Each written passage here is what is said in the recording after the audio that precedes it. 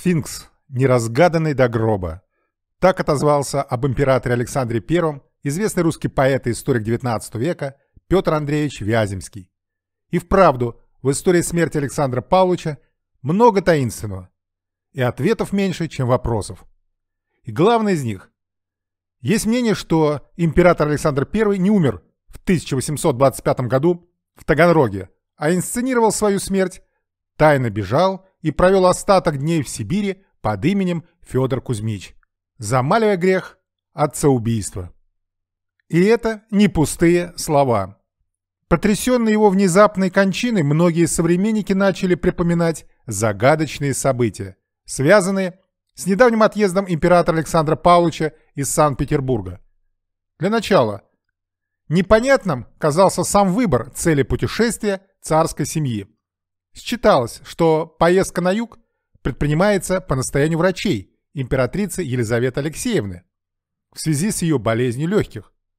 Однако еще до отъезда 14 августа 1825 года верный друг императора князь Волконский писал к своему старому соратнику Закревскому. «Не понимаю, как доктора могли избрать такое место. Как бы в России других мест лучше всего нет». А ответ прост. Выбор был сделан не врачами, а самим императором.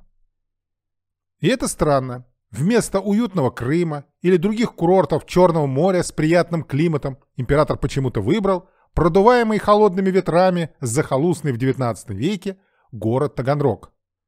В доказательство Петр Михайлович Волконский из свита императора сетовал в своем письме. Вот уже две недели, как мы живем здесь, как в монастыре. Грязь приужасная, что поневоле приходится сидеть дома. К тому же дома постройкою не отличаются. Скука страшная. Так что забыл Александр I в богом забытом холодном Таганроге? Многие исследователи считают, что в Таганроге Александр Павлович готовил фальсификацию своей смерти. Да, да, именно готовил. Отъезд Александра сопровождался множеством интересных обстоятельств. Вспоминали, что за несколько дней до отбытия в Таганрог император приказал князю Голицыну срочно привести в порядок все бумаги в его кабинете в Зимнем дворце. Хотя до этого уже многие годы его абсолютно не интересовали ни государственные дела, ни семейные. Он к ним был равнодушен. Выехал император в ночь на 1 сентября из Каменноостровского дворца без свиты. Вопреки дворцовым правилам этикету при нем даже не было шпаги. По словам царского кучера Ильи Байкова, в четверть пятого утра коляска его подъехала к Александро-Невской лавре.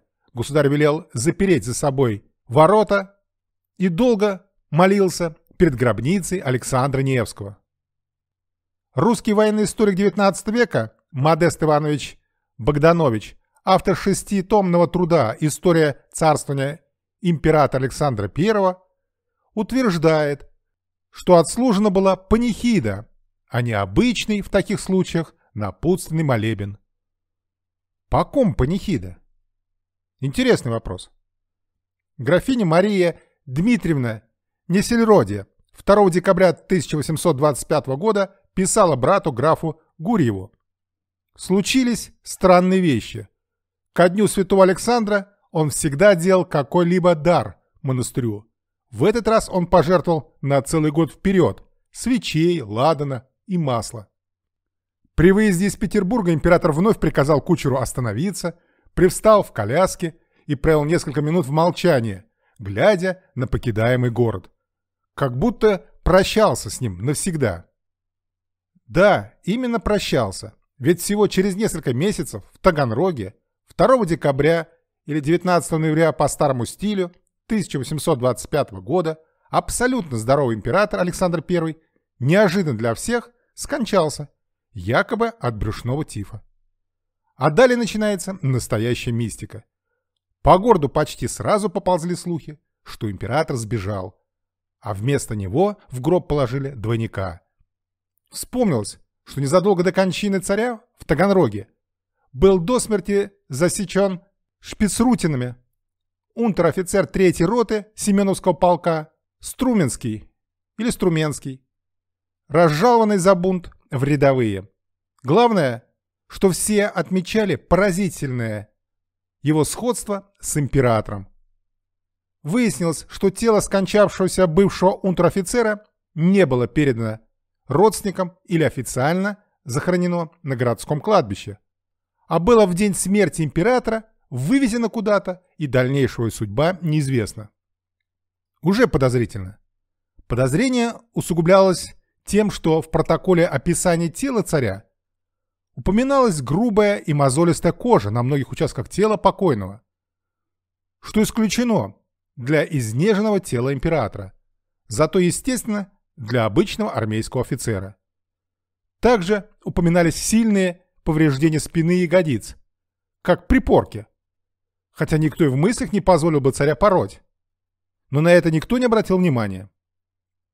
Также вспомнили, что за несколько часов до смерти часовой у царского дворца доложил по начальству, что лично видел императора Александра, почему-то крадущегося вдоль стены дома, к выходу за ограду. Тогда ему, естественно, ответили, «Ты что, с ума сошел? Наш император лежит при смерти. Тебе показалось». Вероятно, не показалось. Тело умершего императора забальзамировали, поместили в два гроба деревянный свинцовый и отправили в Петербург. Хоть тело и бальзамировано, но от здешнего сырого воздуха лицо все почернело. И даже черты лица покойного совсем изменились. Поэтому думаю, что в Санкт-Петербурге вскрывать гроб не нужно. Настоятельно рекомендовал министр императорского двора, светлейший князь Петр Михайлович Волконский, организовавший перевозку траурного кортежа. 13 марта 1826 года тело Александра I было спешно предано земле. А теперь развязка. И вот спустя 10 лет, осенью 1836 года, в одной из кузнец Пермской губернии подъехал верхом некий старик лет 60 и попросил кузнеца подковать его лошадь. Кузнец, исполняя просьбу приезжего, заинтересовался красивой, очень дорогой лошадью и личностью старика, одетого в простой крестьянский кафтан. Кузнец подумал, что перед ним обычный беглый крестьянин-старик, укравший дорогого скукуна у своего господина, и послал за полицией.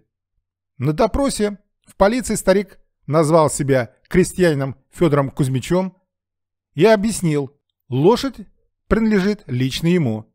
И, отказавшись от дальнейших объяснений, объявил себя бродягой, не помнящего родства. За отказ раскрывать свою личность в том же году Федор Кузьмич, как обычный бродяга, по приговору суда, был наказан 20 ударами плетей и сослан на поселение в Сибирь, в Томскую губернию. В 1858 году старец перебрался в Томск купцу второй гильдии Семену Феофановичу Хромову. По настоятельной его просьбе. Здесь он жил то в городе, то на заимке, в специально выстроенных для старика домиках-кельях. В 1863 году старец неожиданно заболел. Купец Хромов, видя, что старец плох, попросил открыться ему, кто же он на самом деле. «Нет», — сказал этот загадочный старик, — «это не может быть открыто никогда». Тогда Хромов спросил его, почему он не хочет исповедаться и причаститься. Старик ответил, «На исповеди врать нельзя, и если я совру, не открою, кто я в действительности, то небо ужаснется, а если я скажу, кто я, то весь мир взволнуется». Проболев некоторое время, старец 20 января 1864 года тихо скончался, как полагают, в возрасте 87 лет. Так если хоть какие-то доказательства или свидетельства, что святой старец Федор Кузьмич – это и есть покойный император Александр I. Стопроцентные доказательства нам даст лишь генетическая экспертиза, которую пока никто не позволяет провести – но есть многочисленные косвенные улики, что это одно и то же лицо. Для примера, после смерти старца в его келье полиция нашла личные вещи самого императора Александра I. Это икона Спасителя, которую император лично увез в Таганрог из Лавры, дорогой перстень, который последние годы носил сам император Александр. Письмо Наполеона написано Александру на французском языке. Откуда эти императорские вещи у простого безродного бродяги? Ответ напрашивается сам собой. Это не бродяга, а император. Не зря однажды в селе Краснореченском отставной солдат Оленев, увидев проходящего Федора Кузьмича, бросился перед старцем на колени со слезами и криком. «Это же царь наш, батюшка Александр Павлович! Отдал ему честь по-военному!» «Мне не следует воздавать воинские почести. Я бродяга», — сказал старец. «Тебя за это возьмут во строк». Также в келью старца часто приезжали очень важные гости. К примеру, приезжал сам епископ Иркутский Афанасий и провел с ним несколько дней в молитвах и теплых беседах. За что такие почести к простому крестьянину без роду и племени? К старцу приезжали высокопоставленные офицеры, отдавали честь и кланялись перед ним. Кто для них бедный отшельник? Якобы необразованный старец, со слов очевидцев, вел беседы с ними на французском языке. В полицейском отчете есть интересная справка, что из Санкт-Петербурга к старцу приезжал неизвестный важный гость с супругой и большой свитой, по описанию точь-в-точь, точь, как Николай I. Что забыли знатные придворные в келе простого бродяги? Не по душам же просто поговорить. Наиболее крупное исследование было проведено двоюродным дядей Николая II, великим князем Николаем Михайловичем. В 1916 году он попросил у императора Николая II разрешения опубликовать свои новые сведения и факты о старце. Но ознакомившись с документами, Николай II запретил опубликовывать исследования дяди с формулировкой «Не все тайны должны быть рассекречены». Так какую тайну скрыл император Николай II? Интересный вопрос, не правда ли? И еще одна маленькая, но важная деталь. У императора Александра I был личный телохранитель, камер-казак Овчаров, всюду сопровождавший его с 1812 года. Приехал он с императором и в Таганрог. Но Александр перед смертью зачем-то срочно отпустил его в долгий отпуск в родную станицу на Дон, наградив приличной суммой за усердную службу. По дороге в станицу казак и узнал о смерти своего любимого императора. Он тут же вернулся в Таганрог и пожелал проститься спокойным. Но даже к закрытому гробу Александра его не подпустили. И самое важное, звали этого казака Федор Кузьмич. Случайно не в честь ли своего любимого телохранителя Александра I и стал себя именовать Федором Кузьмичом?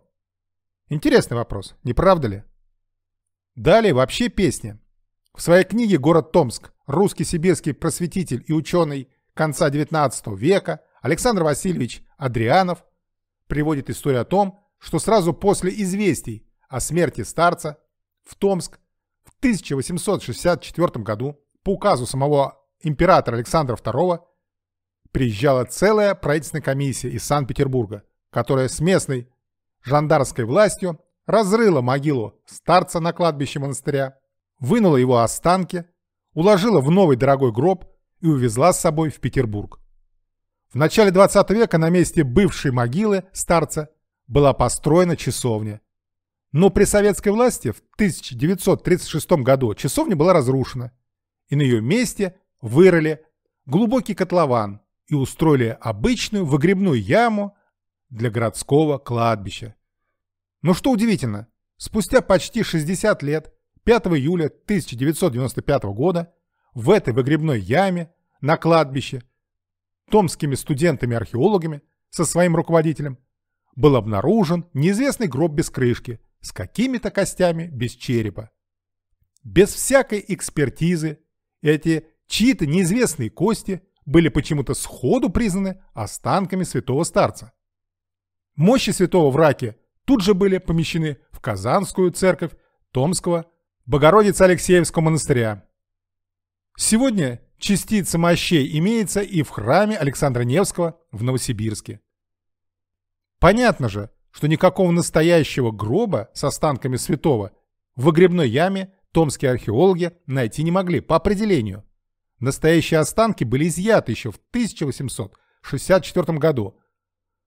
К тому же на месте захоронения был специально вырыт глубокий котлован для отходов. Тогда чьим же мощам сегодня поклоняются верующие? Не забывайте, что могила старца находилась на старом городском кладбище, и студенты могли случайно выкопать чей-то гроб по соседству. Или в годы советской власти в выгребную яму были выброшены чьи-то неопознанные останки, которые и нашли студенты. И напоследок, история с Федором Кузьмичем в XIX веке надела много шума, что даже Лев Толстой не удержался и написал довольно странное произведение «Посмертные записки старца Федора Кузьмича». Лев Николаевич в этих заметках попытался реконструировать инсценировку смерти императора, как бы со слов самого Александра I, основываясь на неких личных дневниках самого старца. В тот день я почувствовал себя хорошо, но притворился, что я очень слаб.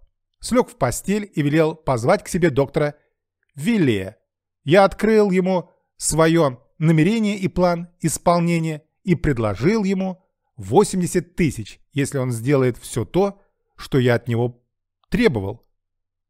План мой был такой. Унтер-офицер Струменский или Струменский, как я узнал, в это утро был уже при смерти и должен был кончиться к ночи. Я ложился в постель и, притворившись раздраженным на всех, не допускал к себе никого, кроме подкупленного врача. В эту же ночь врач должен был привести в ванне тело Струменского или Струменского и положить его на мое место и объявить о моей неожиданной смерти. И удивительное дело, все было исполнено так, как мы предполагали. И 17 ноября я был свободен, а тело Струбинского в закрытом гробу похоронили с величайшими почестями. Правда это или нет, мы сегодня уже не узнаем. Все письма и дневники старца из коллекции Толстого бесследно исчезли в 1909 году. Ну уж больно точно все описал великий писатель в этой мутной истории. А вы что думаете обо всем этом? Напишите мне в комментариях.